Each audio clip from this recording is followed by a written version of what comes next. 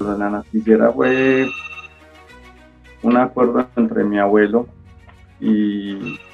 en ese momento Ricardo Ruiz Peso, que era como el presidente, y Jorge Méndez. También estaba el señor Jairo Arias, Hernán Escobar Echeverry, Ignacio Calle, que era un jugador también, jugaba con mi abuelo, Julio Gaviria, o sea, fue entre varios, y él me cuenta que el plan era cobrar la taquilla y pagar todo, pagar los utileros, pagarse ellos, pagar el estadio, hasta el portero. O sea, que ellos tenían que hacerse a la entrada para mirar si, si entraba mucha gente, para que no los fueran a tumbar y así poder sostener.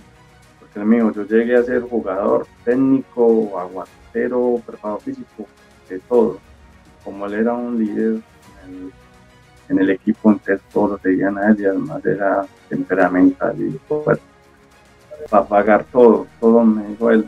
los sueldos, los viajes, no digo, el portero, el aguatero, el preparador físico, o sea,